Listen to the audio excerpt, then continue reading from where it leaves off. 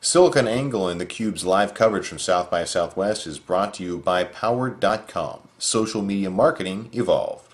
For more information, go to www.powered.com.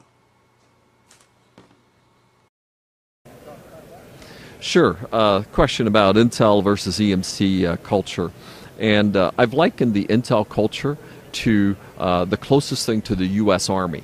It is process oriented. It is disciplined. You know, it, you know, everything runs by Moore's law. There's 80 plus thousand people who measure themselves against the two-year cadence of Moore's law. Right? It is very process disciplined culture. EMC is not. Right? you know, it's a much looser environment, and uh, which leads sort of the second thing, right, is customers. And I come from an OEM environment at Intel where you know our top three customers represented 50% of our business. At EMC, this is a maniacally customer focused environment. Everybody makes customer calls. Whether you're the head of HR, whether you're the chief legal counsel, everybody is engaged with customers. If there is a customer issue, it is a five alarm fire at EMC.